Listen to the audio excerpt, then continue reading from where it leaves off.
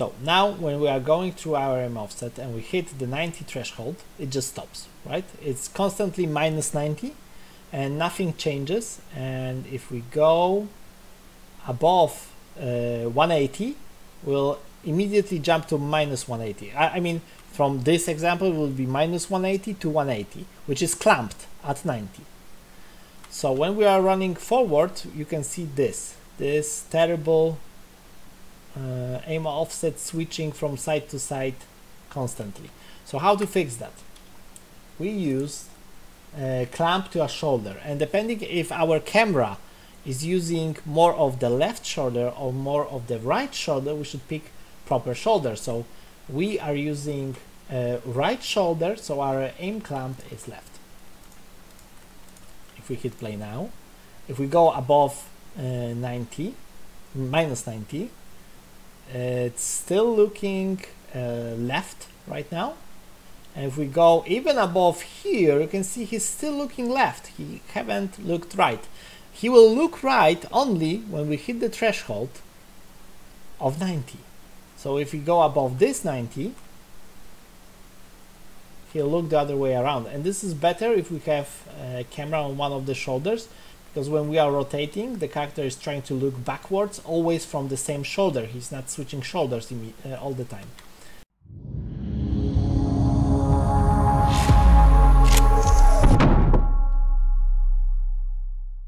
So I'm going to show you a neat little trick how to change locomotion speed on client side that works on multiplayer without changing the actual locomotion speed.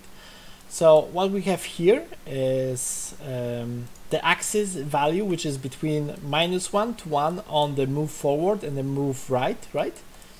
So what we want to do is we want to add a new variable, which will be slow walk, for example, and by default it will be false.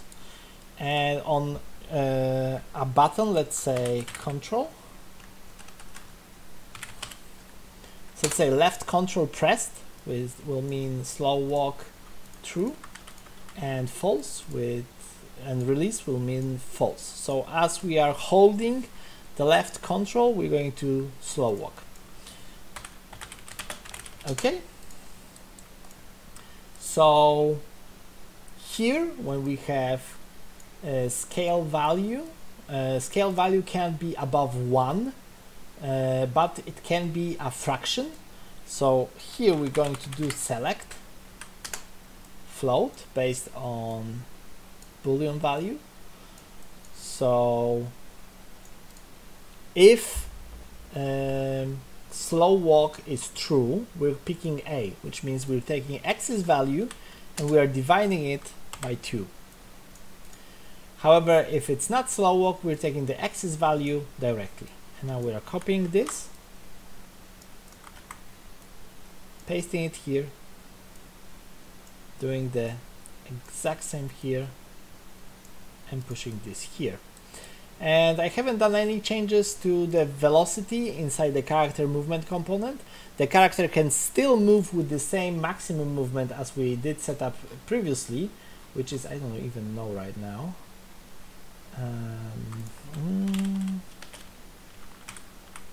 walk speed 600 okay so it's 600 right now but uh, we can actually make him move uh, slower than that. Let's go back here in our locomotion. Let's say that we know that our maximum speed is 600 and our minimum speed will be uh, well 150 so this is one fourth and this is one fourth. We never go below that so it should be half of the animation speed of this jog okay? So we go here play. And now if I press control I'm actually moving slower. If I let go I start moving faster. So yeah. And I am still moving a lot faster diagonally than I move um, in one direction because of how vectors are being added but that's a absolutely separate uh, story honestly you have to make different calculations for that so yeah it's this Uh, so those animations scale based on your velocity right now. And they stop and jump. Okay. So you can go back here, say, go back here. We got this pose, we got this pose, and let's actually change those poses. And let's do a save cache pose, and let's call it uh, third person grounded. And let's take this animation pack and save saved cache pose, and call it anim starter pack grounded uh, and then we can just use saved pose um, by just typing its name. So use cached pose and you started pack grounded. And now if we compile you'll see that this execution goes here and from here it goes actually here. So this is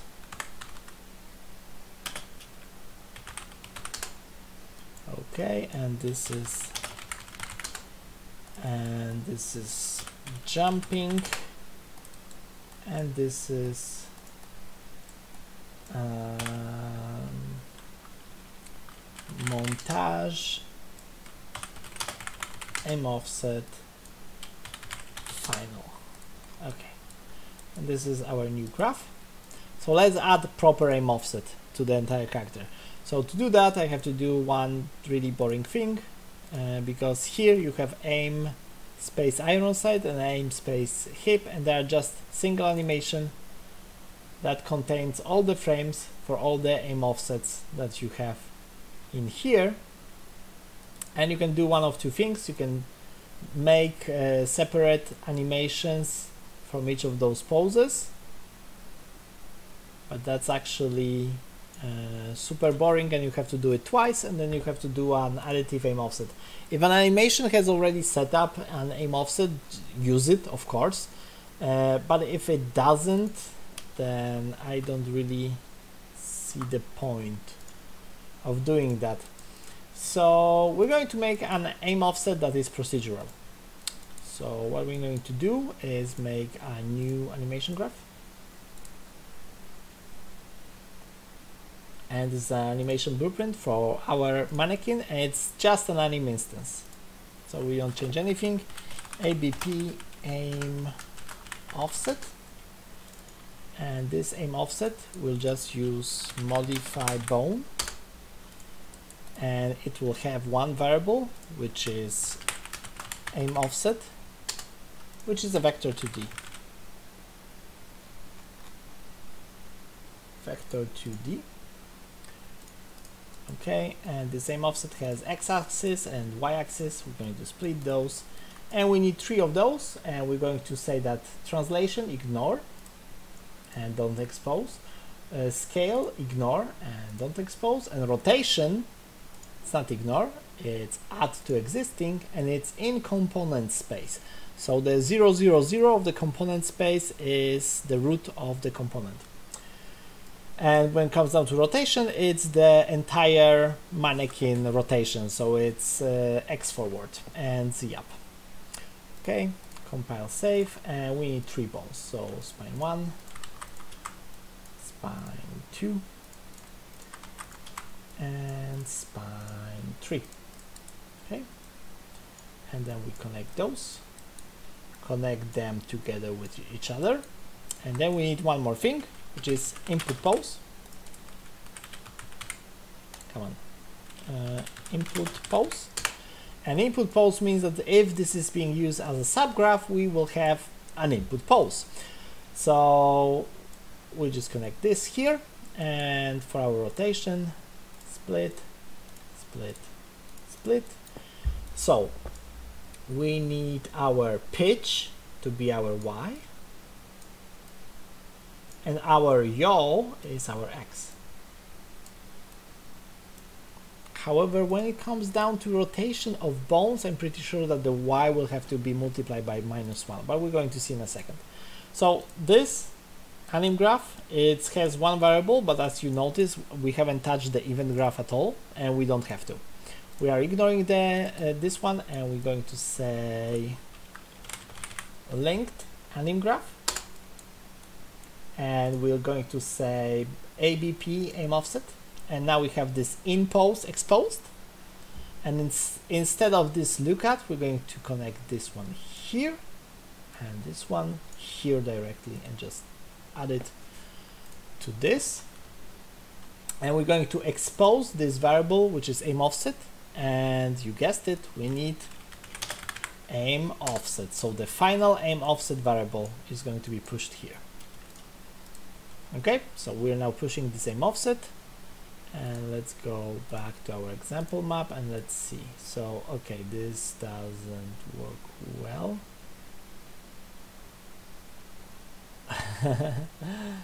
Okay. I think I know why. Let's go back here.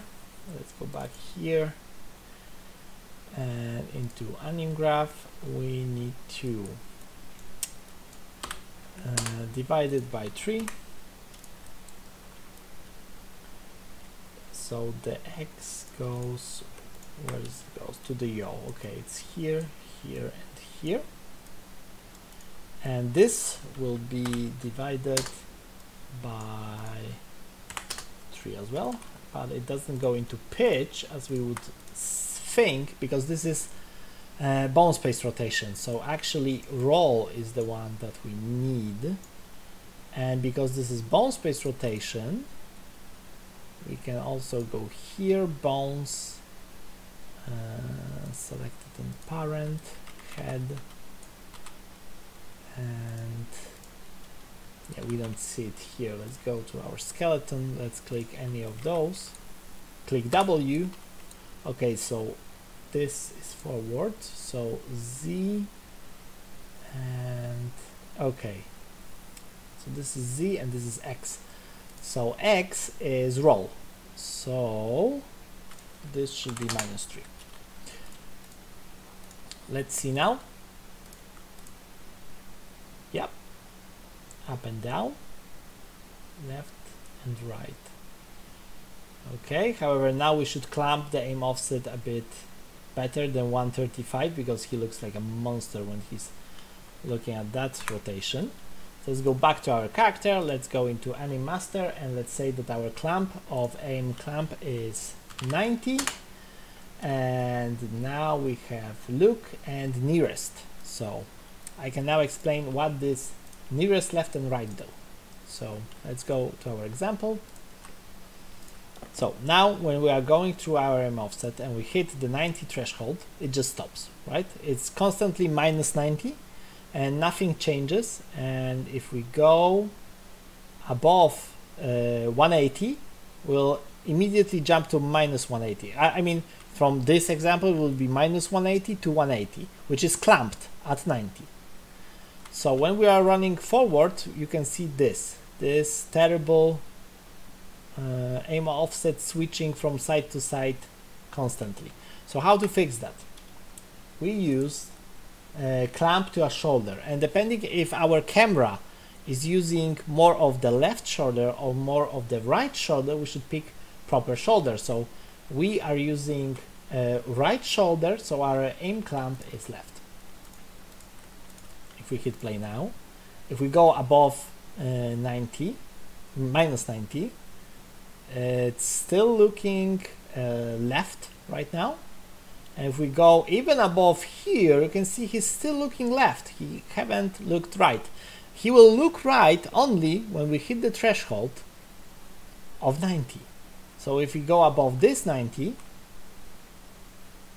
he'll look the other way around and this is better if we have a camera on one of the shoulders because when we are rotating the character is trying to look backwards always from the same shoulder. He's not switching shoulders uh, all the time